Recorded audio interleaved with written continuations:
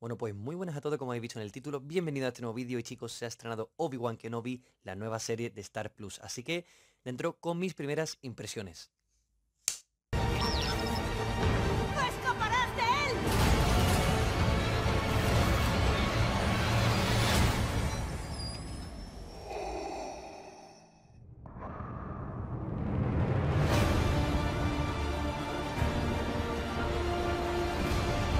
Bueno, ya ha llegado, ya ha llegado la nueva serie a Disney Plus. Ya he podido ver con mi amigo Buskis Ismael, que nosotros le decimos Buskis, ¿vale? Que es típico mote entre el grupo de amigos, que de aquí le mando un saludazo, un fan de Star Wars. Y lo he podido ver con él, teníamos muchísimas ganas de verlo. Y chicos, ya voy a decir de primera que hemos salido muy satisfechos de estos dos primeros episodios, ¿no? Que lo han llamado partes. Pues está puesto en la plataforma de Disney Plus como parte 1 y parte 2. Esta serie nos va a contar la historia del, eh, de la figura de Obi-Wan Kenobi, ¿no? Este Jedi que eh, cómo quedó, ¿no? 10 años después de los acontecimientos de la venganza, de la venganza, perdón, de los Sith el, eh, en 2005, ¿no? El episodio 3. Os acordaréis, son los Sith, ¿vale? Que hay que pronunciarlo ahí correctamente para que quede bien. como iba diciendo, es decir, para que quede bien el nombre, no los Sith. Em, te cuenta la historia de este, de este Jedi, ¿vale? Eh, que no voy a hacer spoilers, son mis primeras impresiones, no voy a contar spoiler. Pero bueno, os voy a decir que este capítulo, eh, los dos, mejor dicho, están dirigidos por Deborah Show, que ya se encargó de capítulos del Mandaloriano, si no recuerdo mal, y lo hizo bastante bien. Tengo que decir que aquí eh, me han encantado, o sea, me han, yo he salido súper satisfecho con los episodios y me han encantado cómo nos han puesto en situación la serie, ¿no? Eh, me ha encantado también el apartado técnico, o sea, el apartado técnico es maravilloso. Eh, de esto le echan millones, parece que están viendo pues, Boba Fett o de Mandalorian, ¿no? O sea, me encanta. Es que es increíble cómo están hechas las naves. Eh, vais a flipar, creo yo, con el vestuario y el maquillaje. Es impresionante el vestuario y el maquillaje.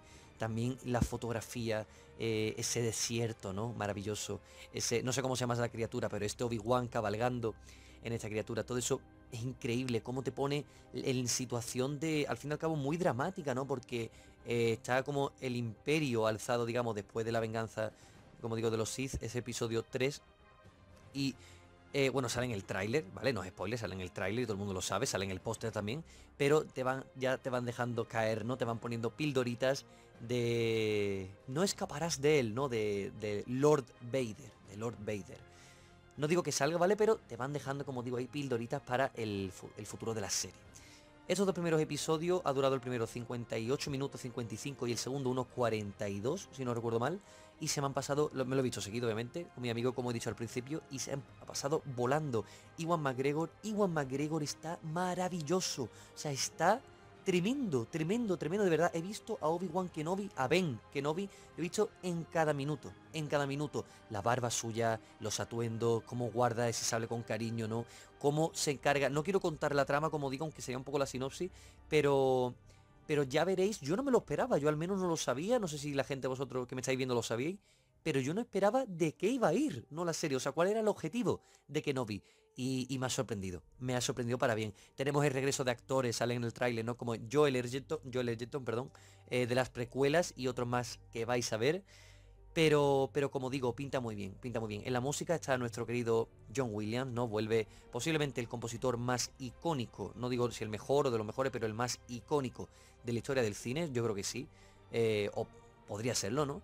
Bajo el cine que yo conozco y, y tengo que deciros que, que está como, como, ¿cómo decirlo? Está como muy puro, ¿no? O sea, es puro John Williams, la melodía, la sintonía, creo que acompaña estupendamente y el trabajo de este compositor, de creo, a lo mejor me cuelo con esto, me tiro un triple, pero creo que de ochenta y tantos años que tiene John Williams. Eh, ¿Qué más deciros? Es que el nivel técnico es impresionante, lo que te está contando es impresionante, la emoción con la que se siente el capítulo, chicos, el cómo está narrado, yo siento un cariño respecto a las precuelas y a la saga original, cariño enorme.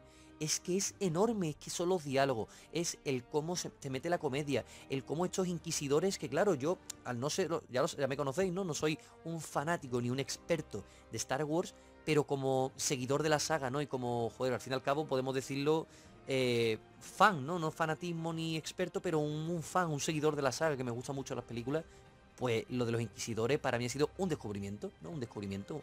Y, está muy bien, está muy bien. Esta tercera hermana que sale en los trailers me ha gustado mucho. Y no sé qué más deciros porque como digo es sin spoilers y son solo dos capítulos. Ojalá pudiera aquí entrar en, en lo que he visto, en lo que ha ocurrido. Pero tengo que deciros que si esto sigue así, si han empezado con estos dos primeros episodios, esto va a más. O sea, esto va obviamente a mucho más. Y va a estar muy, muy épico, lo digo en serio. Yo, como digo, mmm, Obi-Wan Kenobi es de mis personajes favoritos, ¿vale? Tengo que decirlo. A mí, Juan McGregor en las precuelas me tocó, me tocó. Y, tenía muchas ganas de ver esta serie, ¿no? Ya creo que hice los trailers reactions, que lo tendréis en la descripción por si queréis pasarse. Y, y me, o sea, he quedado satisfecho. Repito, son mis primeras impresiones, ¿no? En caliente, lo que acabo de ver, son dos episodios y mi conclusión, o sea, mi calificación y mi opinión final, no lo que me ha parecido, lo comentaré, como siempre hago en estas series, cuando acabe. Tendréis vídeo cuando acabe.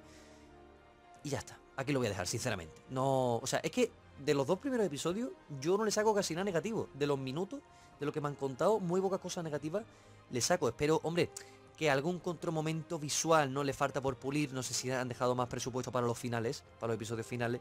Pero sí es cierto, pero ya por, por sacarle pegas, ¿no? Que, joder, pues que me falta, em, aunque no lo parezca y se vea muy bien, algunos momentos pues de croma, ¿no? Algún momento algún efecto visual por ahí. Pero en su mayoría está todo perfectamente integrado.